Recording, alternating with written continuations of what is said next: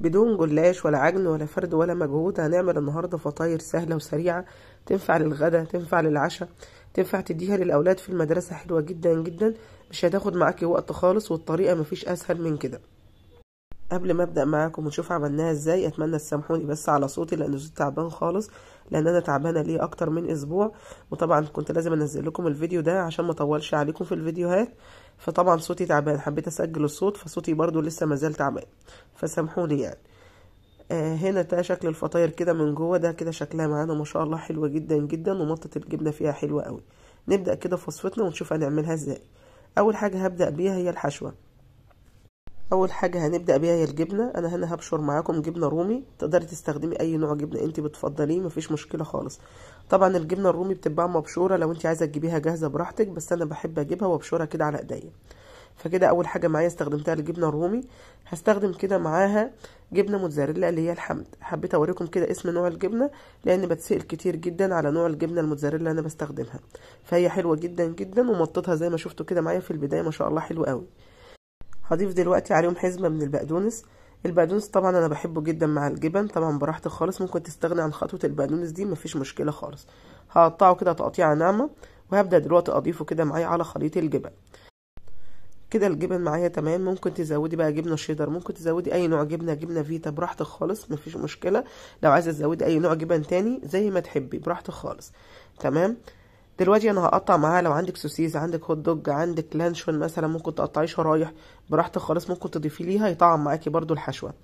أنا بحب أديله كده تشويحة الأول على النار في معلقة سمنة هشوحهم بس كويس كده معايا ياخدوا تشويحة على النار ولما يبردوا هبدأ أضيفهم كده على خليط الجبنة معايا. طبعا ممكن تستغني عن المرحلة دي وتستكفي بالجبن بس مفيش مشكلة زي ما قلت لك دي حاجة ترجع لك. ده شكله كده بعد ما برد معايا تماما بدأت أضيفه كده معايا على الجبن وزي ما قلت لكم ممكن تجيبوا لانشون وتقطعوه برده كده إيه مكعبات صغيرة وتشوحوه معاها هيدي لها برده طعم حلو قوي قوي. دي كده الحشوة بتاعتنا الحادقه هنعمل النهارده الحشوة حلو وحادق. طبعا براحتك خالص زي ما تحب يعني بس الحشوة الحلوة برده طعمها حلو جدا وهتفرق معانا في الفطاير. عبارة عن إيه؟ معايا كده معلقتين كبار من السكر. معلقة الأكل الكبيرة طبعا. ودلوقتي هضيف عليهم كده كمية من الزبيب. والزبيب طبعا قيمته الغذائية عالية جدا. لما تعملي الفطاير دي للأولاد هتبقى مغذية ليهم قوي. وعايزه أقول لكم هتعجبهم جدا جدا بإذن الله. ودلوقتي هضيف عليهم جوز الهند. ممكن تضيفي قرفة لو أنتوا بتحبوها مفيش مشكلة خالص. بس أنا عندي أولاد يعني إيه مش بيحبوها فما بضيفهاش كده على حشوة إيه الحلو. قلبت كده الخليط معايا يبقى كده معانا الحشوة الحلو والحادق. هنجهز دلوقتي كده مع بعض كوباية من الحليب. أي كمية مش شرط كمية معينة يعني. إحنا هندهن بيها الفطاير. وهضيف دلوقتي عليها نص كوباية من الزيت. بس مفيش أكتر من كده. وهقلبهم بس مع بعض وكده يبقى الخليط السائل معانا جاهز. نبدأ بقى بعدها نشتغل في الفطاير على طول بطريقة سهلة جدا ومش هتاخد معاكي أي وقت خالص. بطل حلقتنا النهارده هو العيش السوري. أنا جبته النهارده كده معاكم جاهز وأنتي برضو تقدري تجيبيه جاهز سعره رخيص. ومش هياخد معاكي وقت خالص لو عايزة تعملي غدا للأولاد أو عايزة تعملي عشاء أو تعملي لهم سندوتشات للمدارس بطريقة سهلة ومش هتاخد معاكي أي وقت. أي جبن متاحة في التلاجة زي ما قلت لك المكسرات دي حاجة ترجع لك ممكن تعملي لهم الحلو برضو بأي نوع مكسرات متاح عندك. الطريقة مفيش أسهل من كده. دهنت كده العيش معايا بالتشريبة اللي إحنا عملناها مع بعض اللي هي عبارة عن حليب وزيت. أهم حاجة تدهنيها كده كويس عشان تطري معاكي إيه؟ الفطاير. وهبدأ أحط كده من الحشوة اللي أنا جهزتها معاكم.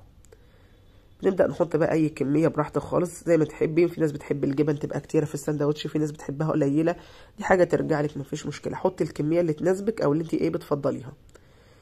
طبعا ممكن نزود زيتون لو أنتوا عايزين براحتكم خالص. بس أنا ما حبيتش أضيف زيتون لأن الجبنة الرومي حادقة فعشان الساندوتش ما يبقاش حادق معانا. ضفت كده كمية مناسبة للعيش معايا. بالشكل ده. وعايزه أقول لكم إنه حلو جدا جدا. طبعا دي ممكن تعمليه في الجلاش مفيش مشكلة خالص. بس عايزه أقول لكم لما جربته في العيش السوري لا طعمه حلو قوي قوي وكمان العيش السوري مش بيتقطع زي الجلاش أو بيتفتفت خصوصا لو الأولاد خدوا معاهم المدارس. ببدأ أقفله بالشكل اللي شايفينه ده بنفس تقفيلة العيش بالظبط. أهم حاجة كل ما باجي أقفل كده بدهن كده إيه الفطاير معايا بالشكل اللي أنتوا شايفينه معانا ده. كده تمام قوي. أهم حاجة لما تعملي الفطيرة تاخديها على النار على طول. يعني تحطيها على النار وتبدأي تجهزي في التانية. ما ينفعش تعمليهم وتركنيهم لأن انت دهناها بالحليب فممكن تطرى معاكي أو تتقطع فمش هتبقى ظريفة خالص لما تستخدميها. كده تمام جدا. دي حشوة الحادق معانا. حشوة الحلو نفس الطريقة بس حبيت كده برضو أعملها قدامكم.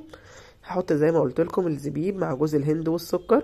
طبعا لو عندك أي مكسرات تانية فول سوداني دي حاجة ترجع ليكي مفيش مشكلة خالص. ممكن تعمليها بحشوة الكاستر أو المهلبية براحتكم خالص هتبقى حلوة جدا جدا. بحط كده كمية مناسبة وعايزة أقول لكم طعمها حلو قوي وعجبت الأولاد جدا ما شاء الله يعني.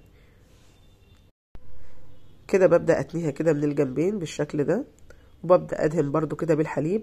بس هنا لما جيت أستخدم الحليب ضفت له كده معلقة من السكر عشان برضو يبقى طعمه حلو كده على الفطاير. بس مش أكتر من كده. يعني بعد ما خلصت كده حشوة الحادق تمام؟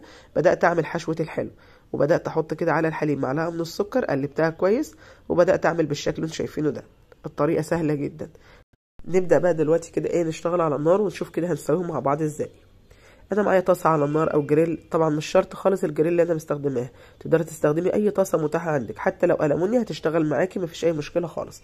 هنحط كده معانا في الطاسة أو في الجريل معلقة سمنة على معلقة زيت ممكن تستخدمي زيت بس زي ما تحبي مفيش مشكلة خالص. معلقتين كده كبار تمام؟ ونبدأ نحمر الفطاير بتاعتنا. مش هتاخد معاكم أي وقت خالص ولا تعب ولا أي مجهود. وكمان ممكن تغيري في الحشوة ممكن لو عندك بواقي فراخ في التلاجة عندك أي حاجة تقدري تضيفيها في الحشوة حلوة جدا جدا ما شاء الله. وفي التسوية زي ما أنتم شايفين كده يعني الموضوع مش هياخد معاك أي وقت. دي أسهل حاجة ممكن تعمليها للأولاد أو لو أنت محتارة في الغداء أو العشاء ممكن تشوفي أي كده جبن عندك في التلاجة وتبدأي تعمليها. والتسوية زي ما شفتوا كده معايا شايفين دقايق بالظبط بتكون جاهزة وبالجمال والحلاوة اللي أنتم شايفينها دي. حلوة جدا جدا. وهتعجب الأولاد قوي خصوصا الأولاد اللي بتحب الجبنة الموتزاريلا يعني يعتبر كل أولادنا بيحبوها يعني.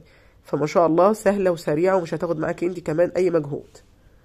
عملت كده الحادق. طبعا أنا هكمل الباقي كله مع نفسي عشان بس ما أطولش عليكم. وفي طاسة تانية بدأت أعمل كده إيه؟ اللي هي بالسكر. حلوة جدا جدا ما شاء الله. برضو ما خدتش معايا أي وقت. وطعمها عايزه أقول لكم يا جماعة لذيذ. حلو قوي قوي. طبعا لو أنتوا عايزين الفطاير دي مقرمشة هتخلوها زي ما هي مش هتغطوها. لكن لو حابين الفطيرة تكون طرية معاكم خصوصا اللي هي بالسكر هتغطيها كده معاكي. مثلا تحطيها في طبق وتغطيها أو في حلة وتغطيها بغطا بحيث تكون طرية معاكي. ده كده شكل الفطاير اللي هي الحادقة معانا ما شاء الله حلوة قوي. حابه كده أوريها لكم من جوه ما شاء الله. طبعا هي كانت سخنة على ايديا في المرحلة دي كانت لسه إيه كده إيه مطلعاها من على النار. بس حبيت كده أوريكم مطة الجبنة معايا. طبعا أنتوا عارفين الأطفال أو أولادنا بيحبوا الجبنة كده لما تسيح كده في السندوتش بتبقى حلوة قوي قوي. وصفة النهاردة سهلة وبسيطة بما إني كنت تعبانة فجبت العيش كده جاهز وزي ما شفتوا كده معايا الجبنة في التلاجة أي نوع جبن زي ما قلت لكم والبقدونس والطريقة مفيش أسهل من كده. حتى المكسرات اللي استخدمتها استخدمت المتاح عندي أنا كانش عندي غير الزبيب وجوز الهند.